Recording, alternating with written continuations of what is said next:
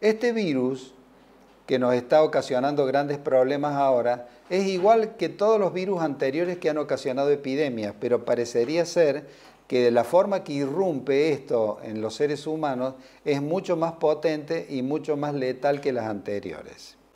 Quiero comentarles que los virus están en la naturaleza y ustedes conocen a muchas enfermedades ocasionadas por virus. Por ejemplo, el dengue es una enfermedad ocasionada por virus, el sarampión, el ébola también, la poliomielitis también, la viruela también, el SIDA también es ocasionado por virus. La gran ventaja que tenemos los humanos, que con algunos hacemos inmunidad, con, otros estamos vacunados y otros son de los animales que prácticamente no nos molestan. ¿Por qué le llaman coronavirus? Porque hacen referencia a una corona. Es curioso la forma que tiene este virus. Si ustedes lo miran en un esquema como el que ustedes están observando acá, les va a llamar la atención que todo alrededor tiene un sistema de coronita. Mire, si yo pongo un microscopio electrónico que lo aumenta 100.000 veces, a lo mejor pueden ver esto ahí. Y lo mismo se ve la coronita. ¿Cómo llega al ser humano?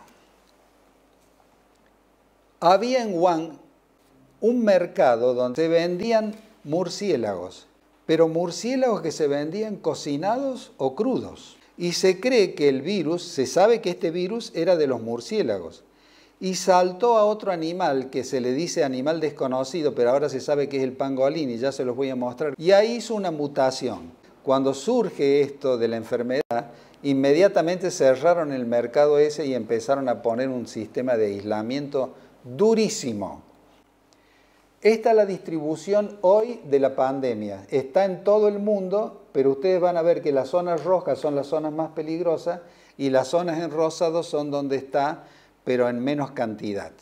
Miren ustedes cómo está hoy el aeropuerto de Wuhan. ¿Por qué les muestro esto? Porque quiero que entiendan que las epidemias es mucho más fácil que se diseminen por el mundo cuando es en lugares donde hay muchos habitantes por kilómetros cuadrados, como en el caso de esta ciudad, y donde hay muchos vuelos desde esa ciudad hacia el mundo. Entonces ellos se dieron cuenta que si no frenaban la expansión, evidentemente el problema iba a ser mucho más grave. No iba a ser únicamente la ciudad de Wuhan y alrededores, sino que toda la China iba a arder.